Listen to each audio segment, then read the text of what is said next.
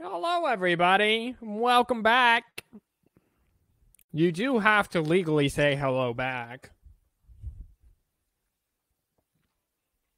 Thank you, everyone, for tuning in. I am Captain Boring, your host. You know this by now because, like, honestly, I'm actually pretty impressed with myself. I'm pretty impressed with those that tune in all six of you pretty much whenever I release these. I, I at least get six views on these 10 minute sports reports. So I really do from the bottom of my heart. Thank you very much. Uh, again, I'm well aware that most of those six, if not all of them, are related to me in some way. Uh, that's really why I started this podcast. Uh, started the other podcast, started this 10 minute sports report for my family. So thank you everyone for tuning in. Uh, let's uh, have a little fan intera- interaction time.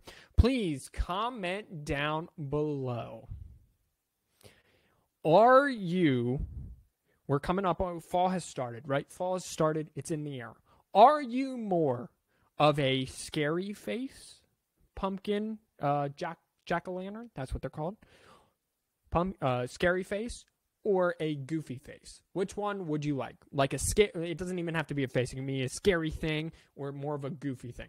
Which way you going? I know it's not October yet. I'm, but I like this fan interaction, so I'm gonna start it. So goofy or scary o' Mom never let us do it as a kid. I understand why. It would have been buttload expensive. Pumpkins are like ten bucks a piece. Like it's like thirty bucks for me and Carrie to carve like two and a half pumpkins. So I get it.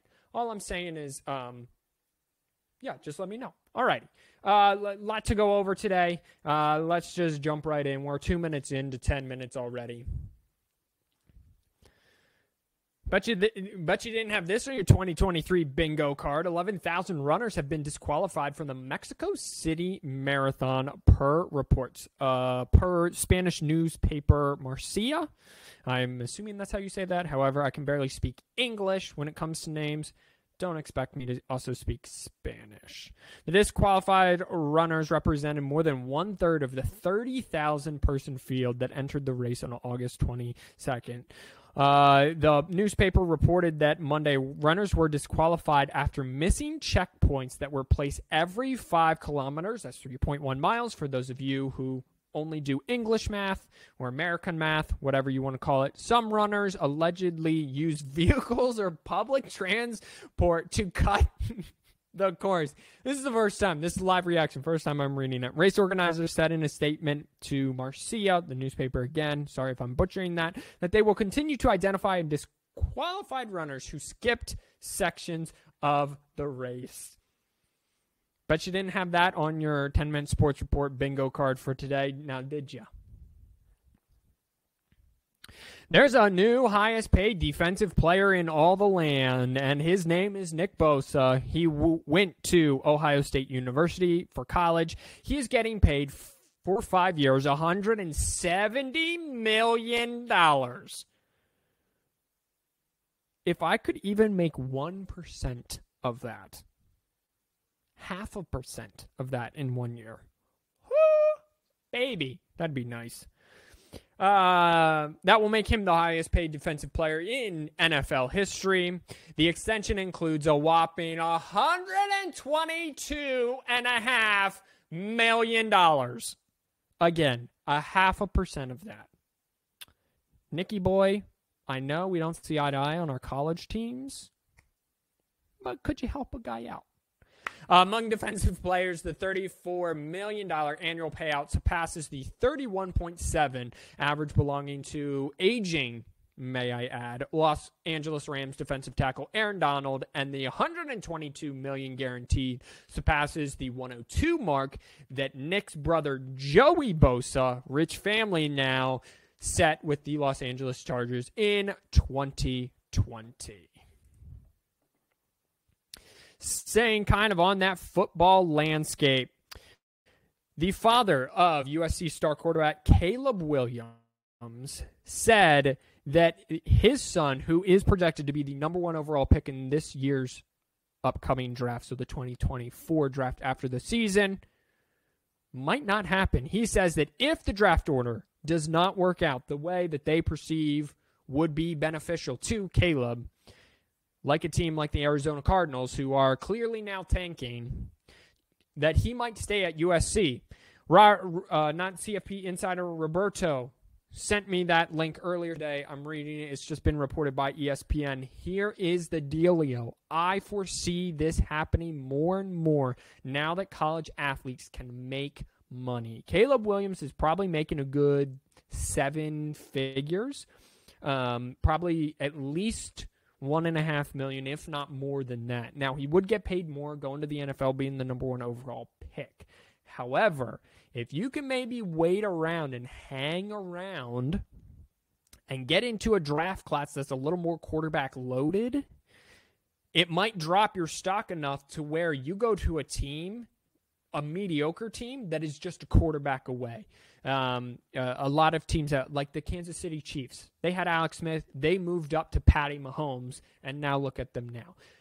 Eagles at the time had Carson Wentz, who was balling, got Jalen Hurts in second round. So there's a lot of this going on, but it would not surprise me. Maybe not for quarterbacks. And do I believe this at all? Absolutely not. Do not get me wrong, ladies and gentlemen. When dads, aunts, uncles, moms, whoever come out and say something about their kid, I never believe it because when parents get involved and try to be kids managers, it never ends out well. I don't think that this dad has he only wants good intentions for Caleb.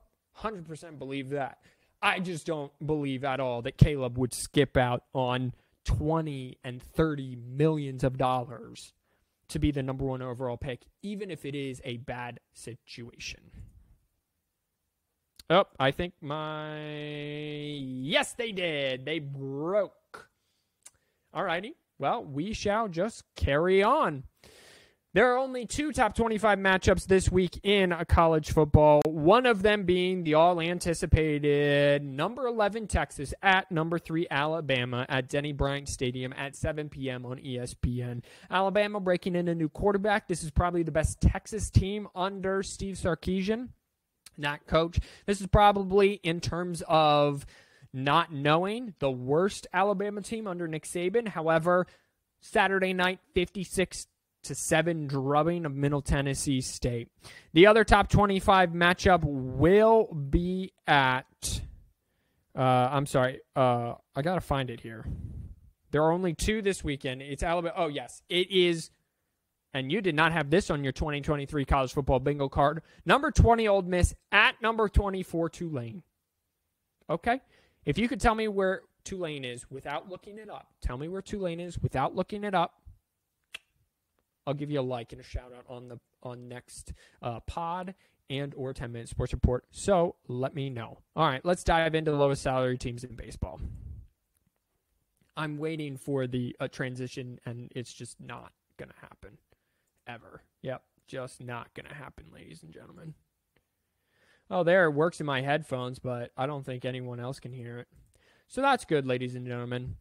Okay, so the lowest salary teams in baseball, the Baltimore Orioles might be one of the best, if not the best team in all of the land. They are on a four game winning streak. They are on pace to win 102 games on the season. They are 87 and 51. They are now three and a half games ahead of the Tampa Bay Rays. They won two out of the three to the Diamondbacks, and now they've won two out of three to the Angels, and they have yet to play that third game tonight, so they might sweep the Angels all together. So uh, stick around. Baltimore definitely one of the best teams in all of baseball. And let's get to the ta- Tampa Bay Rays, who were the first half team of the year. I mean, they were awesome in the first half. They've slid off here in the second half. They're still 84 and 55. There are they um, they're in a win loss, win loss kind of mood right now. They are win most recently. They are three and a half games back of the Baltimore Orioles for second place, and I'll get to the wild card standings in just a minute because that's where this stuff gets good. Meanwhile, the Cincinnati Reds back on a track a little bit. They've won two straight, so they split this series with the four game series with the Cub. They ended up splitting. Uh, they lost 6 2, 1 3 2, 1 2 1, then lost 15 7. I think I covered that. And then they've won two against the Seattle Mariners, another really good team that I'll get to in a second 6 3 and 7 6. So they're not out of the wild card spot yet. Speaking of the wild card spot, the division leaders are the Orioles, the Twins, and the Astros now. The Seattle Mariners were leading that division, if everyone remembers a couple episodes ago. But now they've lost three straight, the Mariners have. The Astros sit atop the AL West. Mariners one game back, and then the Texas Rangers have had a terrible month of August, and so far a terrible month of September. They are four and six in their last 10 games, including losing two straight, and are now two games back of the Astros for first place. National League, it's been a whole bunch of runaways in two out of the three divisions. The Atlanta Braves are 90 and 47, best record in baseball, four and a half games up on 14 and a half games up on the Phillies. Brewers are a game and a half up on the Cubs. Cubs hot right now, four straight wins, seven and three in their last 10. Dodgers 84 53, 14 games ahead of the Arizona Diamondbacks. Now, this is where it gets fun. The wild card. Again, no sound bites. I know I'm at 11 minutes. I'm almost done. I'm bummed there are no sound bites because now the beginning of the podcast won't make sense. And I do apologize, but it has been decided. The Rays sit seven games ahead of the Seattle Mariners for first place in the AL wild card. The Mariners sit in second place, half game ahead of the third place team, the Toronto Blue Jays. But a half game behind the Toronto Blue Jays are the Texas Rangers. And then four and a half games behind the Rangers and five games behind the Blue Jays are the Boston Red Sox who need to turn this on. There are only like 26 games left. Shit, get off the pot. Okay, sorry, mom. I swore.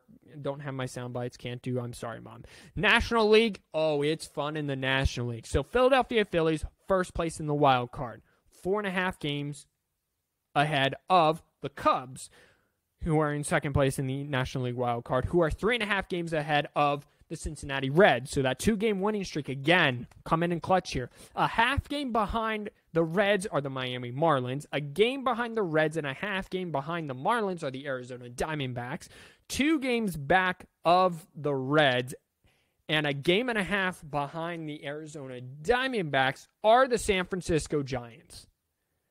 I do. I forgot how much fun down the stretch baseball is.